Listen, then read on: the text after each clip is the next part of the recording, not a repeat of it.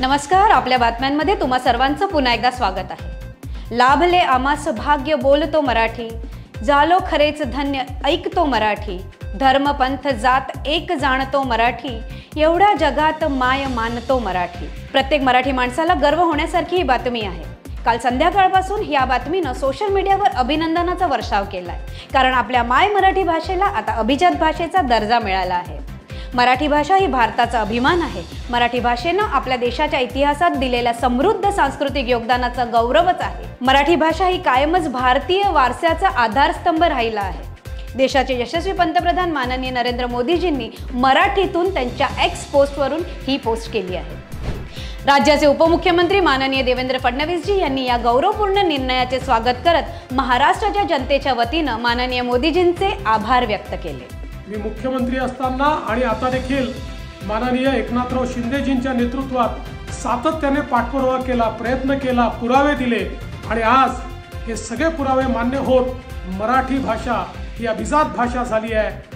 महाराष्ट्राच्या बारा कोटी जनतेच्या वतीनं आणि जगभरातल्या मराठी माणसाच्या वतीनं मी पंतप्रधान मोदीजींचे मनापासून आभार मानतो. केंद्रीय मंत्री आणि महाराष्ट्राचे विधानसभा निवडणूक प्रभारी माननीय भूपेंद्र यादवजी यांनी पण या निर्णयाचे स्वागत करत अभिनंदन केले.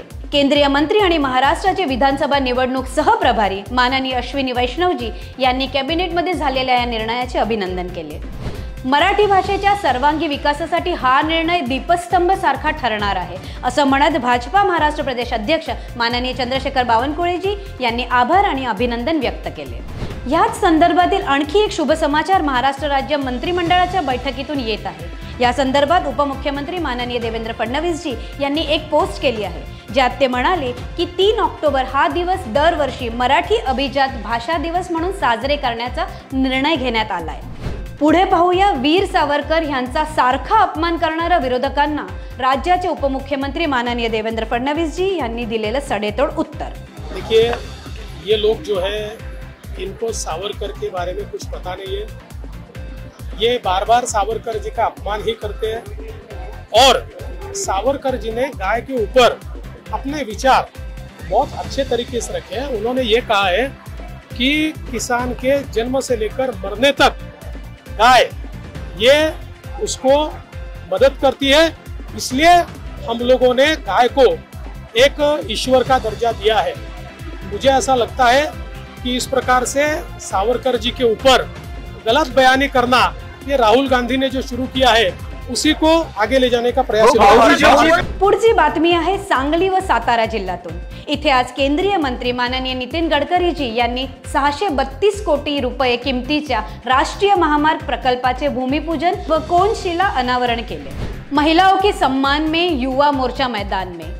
चंद्रपूरमधील काँग्रेसच्या पदाधिकाऱ्यांनी बारा वर्षाच्या मुलीवर केलेल्या अत्याचाराच्या निषेधार्थ भाजपा महाराष्ट्र प्रदेश महामंत्री व युवा मोर्चा प्रभारी श्री विक्रांतजी पाटील व भारतीय जनता युवा मोर्चा महाराष्ट्र प्रदेश अध्यक्ष श्री अनूप मोरे यांच्या उपस्थितीत भारतीय जनता युवा मोर्चाचे कार्यकर्ते आणि पदाधिकाऱ्यांनी विरोधी पक्षनेते विजय वडेट्टीवार यांचा घरासमोर आंदोलन केले.